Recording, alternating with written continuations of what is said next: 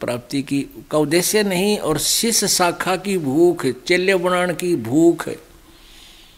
वो अंत में उसकी वह दुरुति होगी, जैसे बण में आग लाग जा जड़े पाछे रूख टूंड खड़े रहा करें ऐसी स्थिति हो जाएगी उन लोगों की लास्ट में।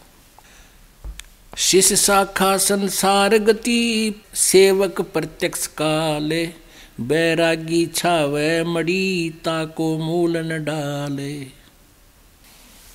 अब क्या बताते हैं परमात्मा? शिष्य शाखा संसार गति है।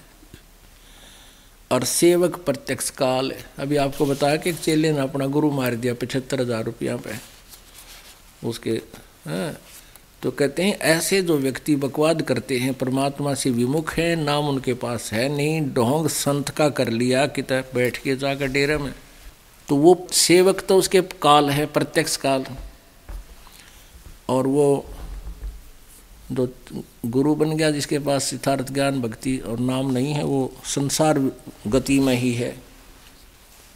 पुणात्मा आप जी का सौभाग्य है कि आपको इस ज्ञान सुन रहा है। आप कोई किसी भी माध्यम से सुन रहा है, कोई पुस्तक भी पढ़ रहा है, कोई सीडी भी देख रहा है, या प्रत्यक्ष आकर यहाँ ज्ञान सुन रहा है। और अरबों खरबों मनुष्य सारा दिन डले ढोरे एक पेट के लिए धक्के खाते फिरते हैं, सौ झूठ बोलते हैं। निरे कोड इकट्ठा कर रहे हैं, अपने पाप कर्मों को फोड़ रहे हैं, जन्म को फोड़ रहे हैं, पाप कर्म ढो रहे हैं। और आप जी को ये ज्ञान हो गया, आपके अंदर कितनी उमंग दी भगवान ने। आप काम भी छोड़ कर आते हो। पुण्यात्माओं कोई भी कार्य है, करने से होता है।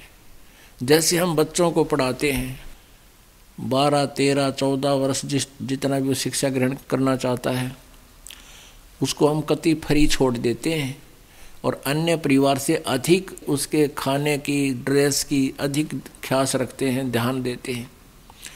और बारह, तेरह, सोलह और फिर ट्रेनिंग करे तो बीस वर्ष तक, पच्चीस वर्ष तक, उस बच्चे से हम कोई कार्य नहीं लेते और पैसा भी बाढ़ की तरह फूकते हैं, किस उद्देश्य से कि बच्चा बड़ा होकर के अपने पैरों पर खड़ा हो जाएगा।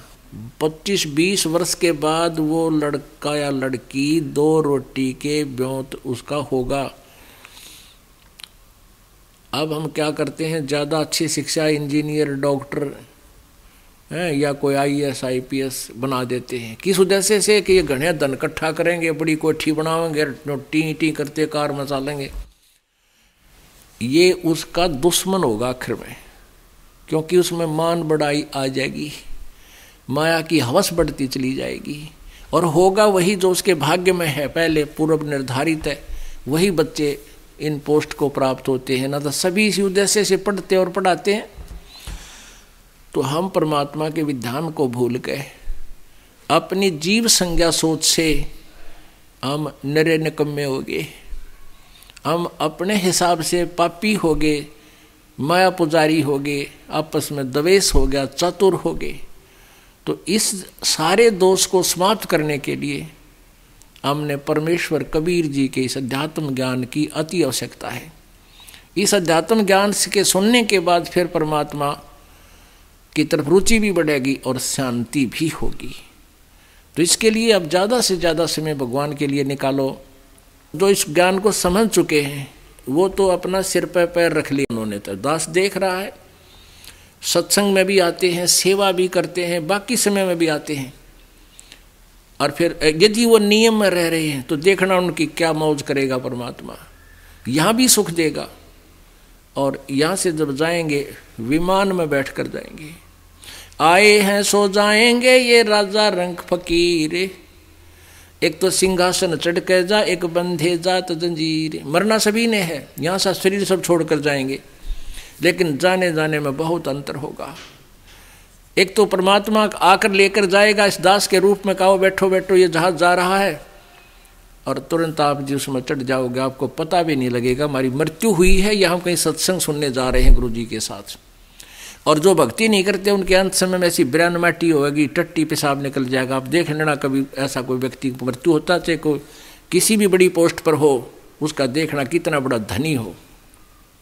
जिसके पास ये सत भक्ति नहीं है, उसकी मृत्यु देखना, इसको नहाते किस लिए हैं?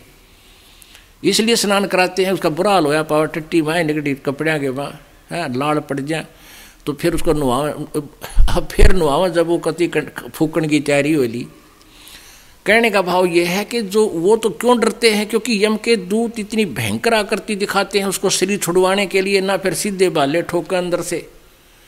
वो भयभीत होकर के उस टट्टी पेशाब निकल जाता है, जब वो डरता हुआ उस शरीर को छोड़कर भागने की चेष्टा करता है, फिर उसकी बाजू पकड़ लेते हैं, सूक्ष्म शरीर में वो यम के दूत।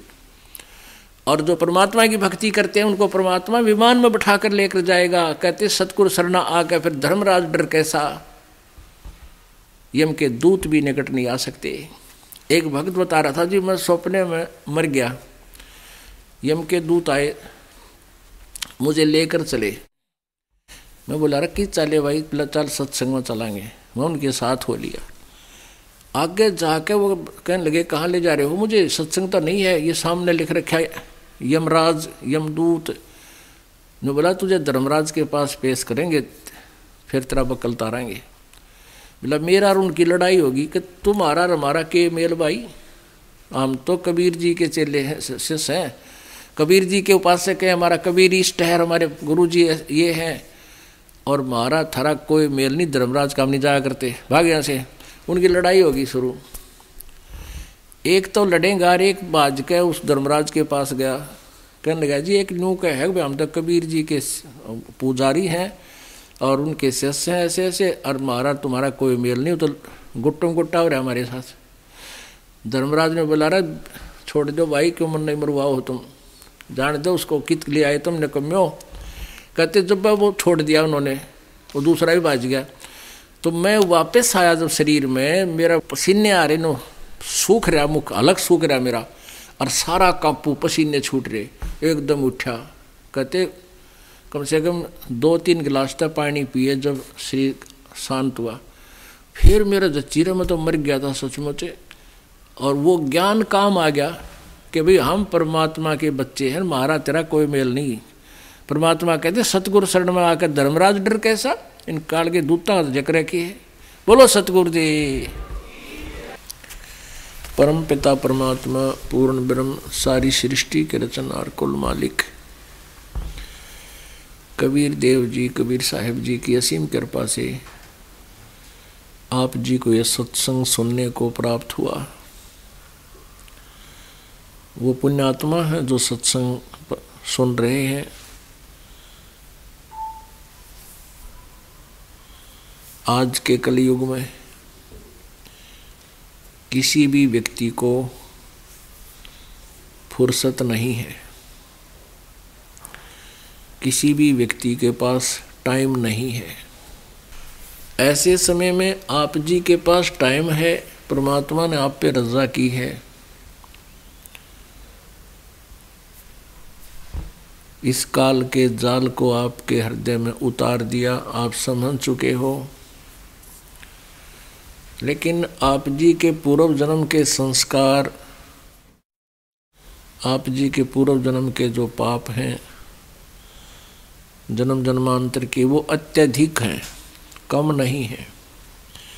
और आप जी के पास भक्ति, शक्ति, पुण्य, ये कलयुग में पहुँच जाने के कारण बिल्कुल अक्षीण हो चुके हैं। क्योंकि सतयुग त्रेता द्वापर में ये पुण्यात्माएँ अपने पुनों को समाप्त कर देती हैं। उन तीनों युगों के अंदर प्राणी ज़्यादा दुखी नहीं होते। सतयुग के अंदर लाख वर्ष की आयु होती है मानव की। अब विचार करो पुण्यात्माओं, वो लाख वर्ष का जीवन भी हम सभी ने जिया है, मनुष्य जीवन। और वो समय जो शरीर स्वस्थ शांत मन रागद्वेश बहुत ही कम सतयुग में। तो उस समय भी हम रहे, सतयुग के अंदर एक विशेषता बताई है कि पत्नी से पहले पति की मृत्यु नहीं होती, पिता से पहले पुत्र की मृत्यु नहीं होती। और भी शारीरिक कष्ट, मानसिक परेशानियाँ नाम मात्र होती हैं।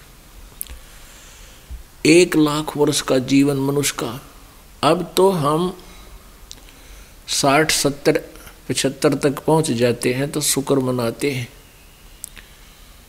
और इतने कष्ट शरीर में आ जाते हैं, इतने प्रकार की व्याधाएँ शरीर को घेर लेती हैं इस कलयुग में। तो अब तो हम ये सोचते हैं, परमात्मा मृत्यु तो हो जा, पर ठीक ठाक हो जा। पहले तो हम जब तक युवा होते हैं पचास साल तक रहते हैं तो न्यू सोचा है मरा नहीं। और न्यू मन माह का भी नहीं मरेंगे। और जब ये सत्तर पार कर जाता है ये पुरानी कलयुग में, फिर तो इसको कभी गोड्या में दर्द, कदे सिर भड़का, कदे कभी दांत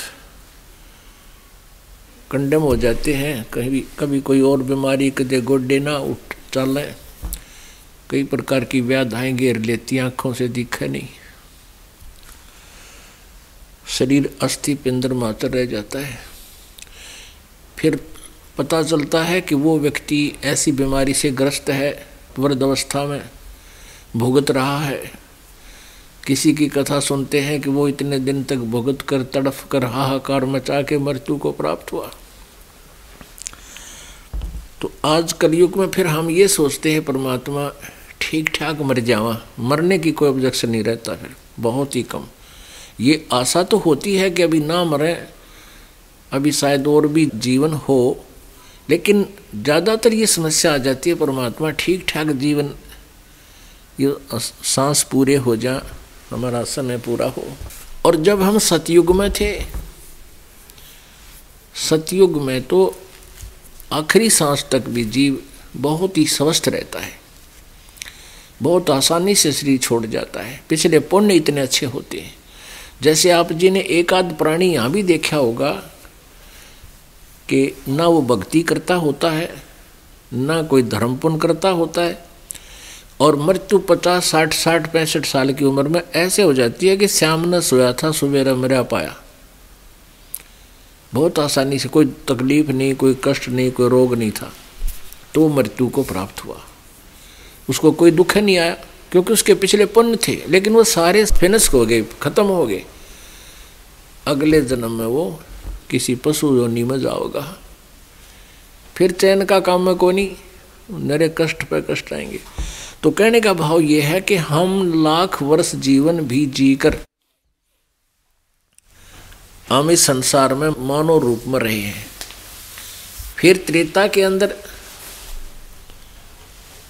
दस हज़ार वर्ष दस हज़ार वर्ष तक जो है जीवन रहता है। और त्रेता में हज़ार वर्ष तक, स्टार्ट जहाँ से होता, हज़ार तक।